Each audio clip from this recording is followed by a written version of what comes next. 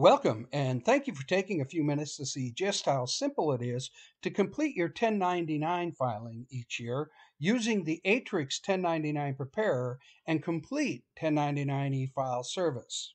When you first open the software, you'll see you have the option of filing the Affordable Care Act 1095s, the W-2, or the 1099.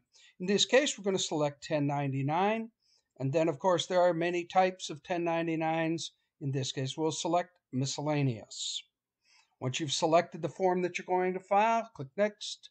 You'll select the company that you're going to file for if you've already entered it. If not, you'll click Add a New Company, enter the company name and the EIN. You have options to upload your data using the 1099 recipient data import from an electronic file, a CSV, which of course is a spreadsheet file, or if you do not have a 1099 MIS data file and you want to enter the data manually, you can do that as well. In this case, we'll select a file. You can see that the file has been selected and we'll click Next. You'll need to map the 1099 data that you have to the 1099 form information screen.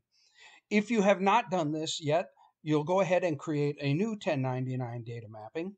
In this case, I've already done a 1099 before and I have saved that format so I can select the format that I've already changed. So if you're filing for multiple companies, you only need to do this mapping once. This is the data importer. You'll see in this case, each of the boxes already linked. You can see that they've turned green and that there's a little link symbol in front of them. That process is quite easy. If you have not linked these in the past, you'll see the headers that you'll see over on the left side. You'll simply select them and drag them into the appropriate box and drop them there.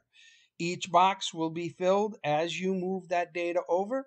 Once you've completed the mapping, you simply click Complete Mapping and you'll move forward. Once you've completed that simple mapping process, you'll begin the company setup. We're going to ask you a few questions that we'll need to know in order to complete your filing.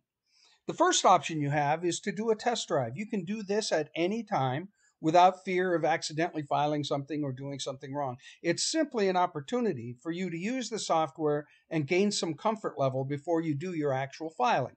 You can choose to do the first 25 recipients. You can do it with your complete data set, or you can just move forward and begin processing. We're going to verify your TIN number, make sure we're filing for the correct company. Some companies have more than one data set for an EIN uh, multiple departments, multiple locations.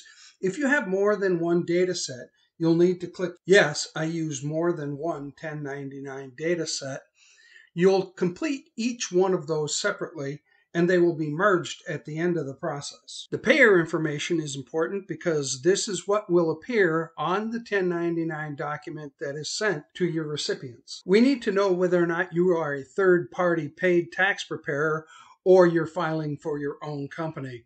If you are a third party paid taxpayer, you'll have to fill out another quick little form the IRS wants to know who you are. We'll need to know if you have any recipients who have elected to receive their 1099s electronically. You have the opportunity to obscure Social Security numbers or EINs if you wish. You can choose from the two methods available here or in fact not obscure them at all. Once you've completed the company setup, you'll see your data is displayed in what we call the Aatrix grid. Uh, it looks like a spreadsheet. It acts like a spreadsheet. It's a spreadsheet.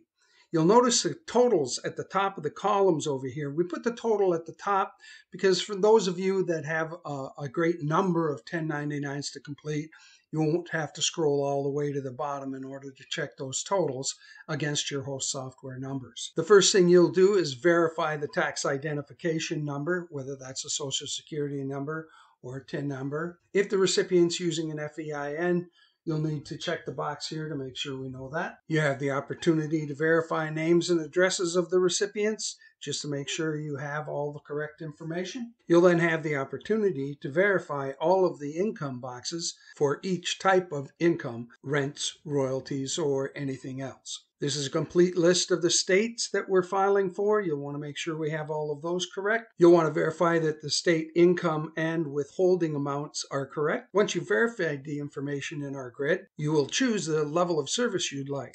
Uh, the best practice, obviously, is the complete 1099 e-file service. We will print and mail the recipient copies.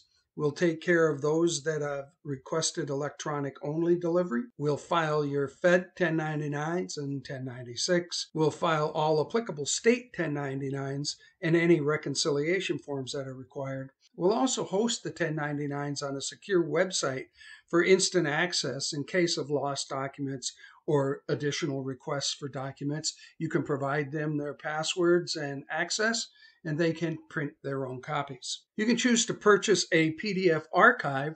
We provide this on a flash drive. It has a PDF of every form that we're filing on your behalf.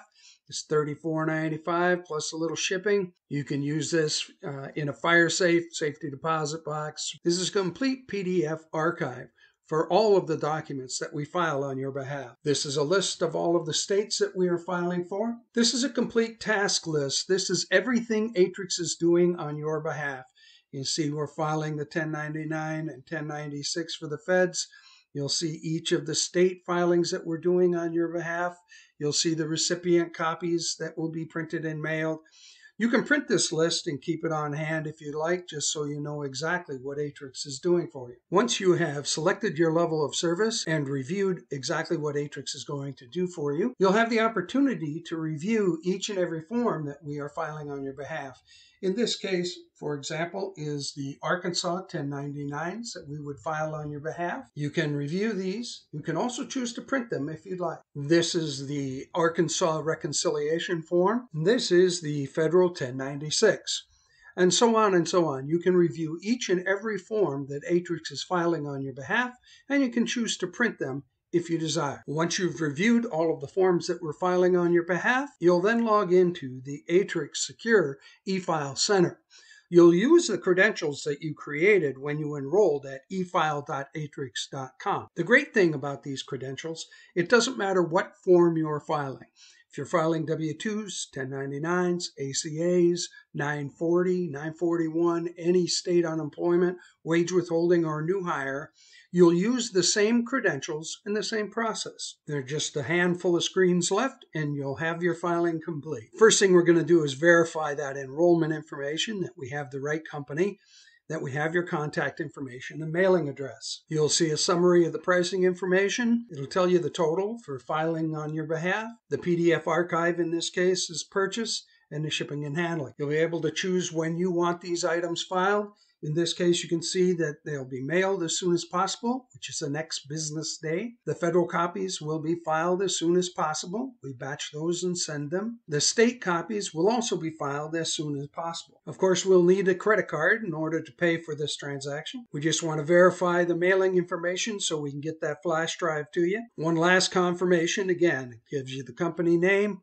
the EIN, the address, the invoice amount, and what we're filing. Once you have submitted your filing to the Aatrix Complete eFile Center, you'll receive what's called an AFID number. That's an Aatrix Filing Identification Number.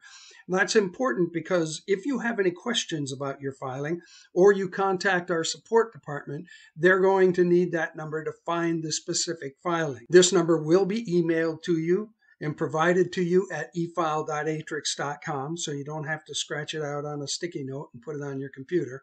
You do have access to it. That's just how easy it is to complete your 1099 filing using the Aatrix Complete 1099 e-file service.